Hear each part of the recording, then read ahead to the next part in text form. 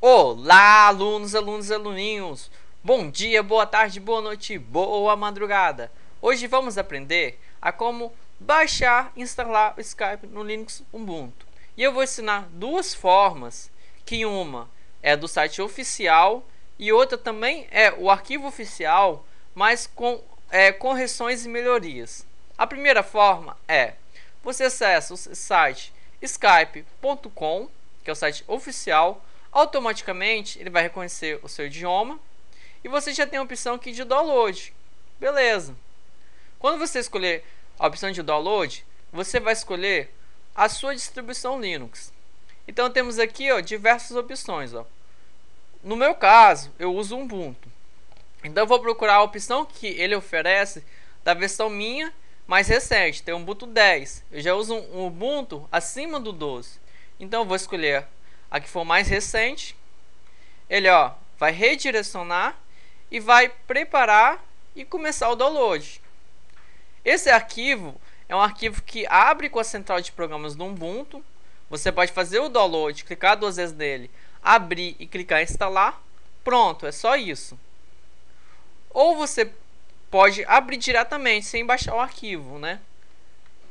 Eu vou cancelar porque essa opção você pode fazer? Pode. Você pode testar se funciona bem? Sim. Só que a versão mais recomendada do Skype é o que acontece só para vocês entenderem rapidamente. A, a, o Skype lança uma nova versão do, é, dele, do aplicativo dele para o Linux e a comunidade toda começa a utilizar. Se ela vê que tem algum problema de áudio, de alguma integração com o próprio Linux, a própria comunidade, desenvolvedores, a equipe do Ubuntu vê como, como que pode melhorar isso. Então é o arquivo do Skype com os arquivos que são é, melhores, é, bibliotecas, arquivos assim, para integrar com o seu a sua distribuição Linux. No meu caso, Ubuntu. Então você pode baixar por aqui, só que a melhor opção de você fazer é vindo aqui, ó, abrindo o menu, né? E em configurações do sistema. Aqui embaixo temos a opção de programas e atualizações. Tudo que está relacionado a, aos programas que você tem, que você abre milhares de programas você escolher baixar na central de programas, temos a opção aqui ó, nessa aba outros programas. O que, que você vai fazer? Vai marcar para você obter programas de parceiros da Canonical. Você obtém aqui, ó.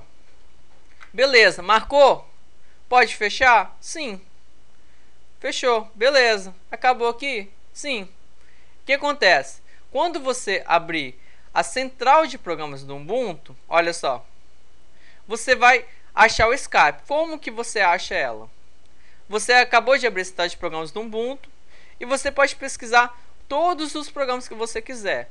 Só que aqui, ó, você vai marcar, ó, em vez de ser todos os aplicativos, vai colocar os parceiros Olha só. E aqui do lado vai ter diversos parceiros. Se você escrever aqui do lado, ó, na caixa de busca, Skype, olha só, já aparece. Em mais informações, você pode obter mais detalhes sobre ele. E no meu caso já foi instalado. Olha só. Aqui tem algumas imagens. E para você instalar, você vai clicar aqui do lado, instalar, colocou sua senha. Ele vai fazer o download do Skype como eu disse, com os arquivos a mais que vai integrar melhor. Então você baixar de lá e instalar manualmente não é a forma mais recomendada, que pode acontecer vários erros. Erros que eu falo que, ah, eu fiz uma chamada com alguém não está sendo áudio. Eu liguei a câmera não está indo bem. Então, são esses erros que você pode evitar instalando na versão do Skype que tem melhor compatibilidade com o, o Linux. No caso, o que pode acontecer? Se você estiver utilizando é, o sistema operacional 64 bits, que é aquele sistema que você utiliza que tem mais de 2 GB de memória, e não está conseguindo abrir o Skype, quando você acaba de instalar o Skype, ó, ele vem para cá, olha só, está instalado, funciona perfeitamente. Eu estou usando o Ubuntu 14, versão mais recente, e aqui, ó, em pesquisar, ó, ele aparece também, ó, Skype. Ó, apareceu. Ah, eu estou clicando no Skype e não está abrindo. O que, que pode acontecer? pode acontecer que você vai precisar abrir o seu terminal, apertando ó, iniciar, terminal.